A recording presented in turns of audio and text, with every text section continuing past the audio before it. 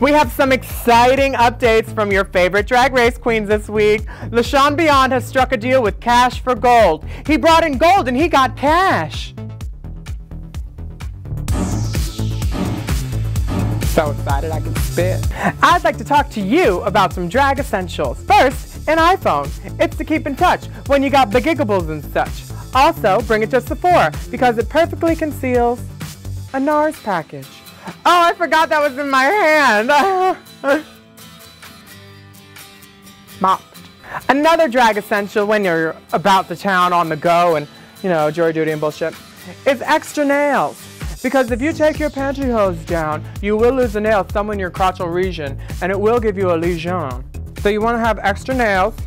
Just pot them out, pot them out and boop, boop, boop, see? And then these little containers are perfect for storing your medical um, your weed. I'm in California, I can say that. Because I have ailments which you know nothing about. You don't know me. You don't know what I go through. These shoes hurt my back. They're Louboutin.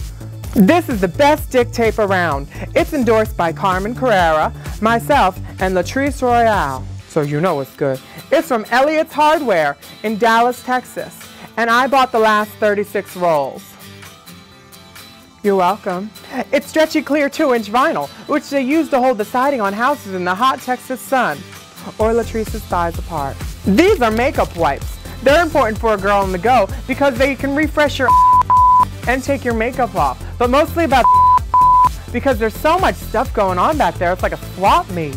I mean, there's duct tape, there's semen, there's tanning supplies, and the best thing is, you can use it to get the tanning off because then the dick tape won't stick. And the guys will know you have a dick and they won't be able to play dumb until they get back to the hotel and then be like, oh, a dick? I didn't know that'd be dear. Okay, I guess. Bye. September 23rd. See ya. Tweet it, hashtag it, retweet it, quote it, and I won't reply. I ain't no follow back girl.